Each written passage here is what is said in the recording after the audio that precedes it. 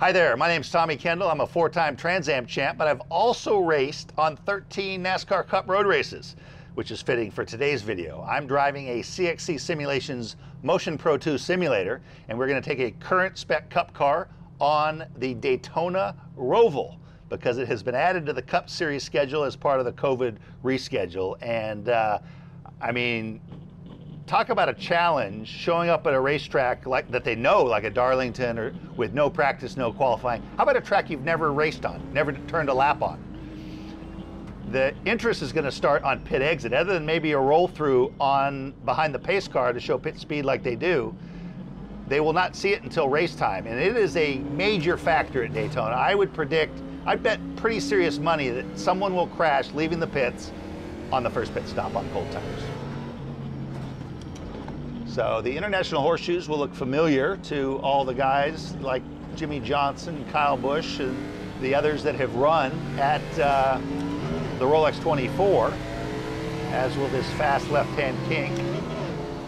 Got a little bit of a dip, you pick up some banking, it throws you out to the right, and then you brake for the second horseshoe down to first gear, and you just have to wait and wait and then wait some more.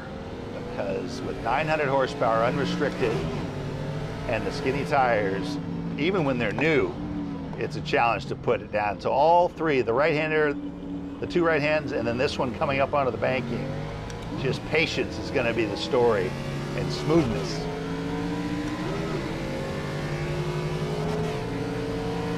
So, you know, some guys will run way up high like this. I think you might see some people, especially on new tires, running the short way around here bus stop is almost a mirror image of the bus stop at Watkins Glen. And the key thing is it's a single arc all the way through there. If you let it out in the middle or you carry too much speed in the first half and you get wide in the middle, you never get it back in or you're gonna be late getting back to power for the second half, which is this big straightaway run. Now we have a second chicane coming off NASCAR 4 which no one will have seen, even people who have been to the Rolex 24. And that was my best trip through there so far. Big curbs. Uh, you can really climb up on them, but those blue ones will throw the car a lot. Now getting out into turn one, the change in banking, both in terms of getting the car slowed and the propensity to lock up tires as the weighting on all four corners changes is going to be something they're going to have to really work on.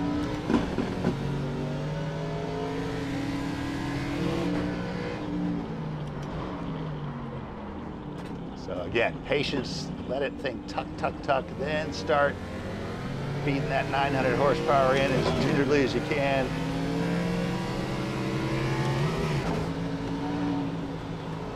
Car thrown out to this side. You know, in a road race car, you can get back over to the left. That's a fantasy in this car. Wait, wait, wait. And then big, long, as long an exit as you can. Back to the right car kind of ah, too early there, but roll out here. People are going to play with all kinds of different lines. If you let it out there wider, does it make the second half straighter where you can feed it, or do you, do you really give it up in the middle, let the car pivot a bunch so you can get to full throttle sooner, way down on the flat part, so you're not finding it as it climbs speed?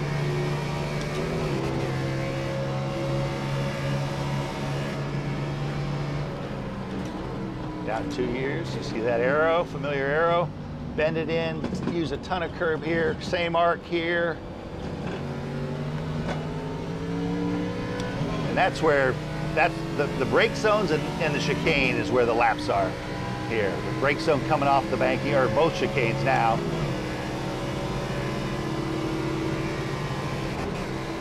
Braking, release the brake a little to come in here, brake harder again. See how much curb. And that is just one lap, and these guys are gonna have to do it with 40 cars around them for all the marbles, lap of the Roval.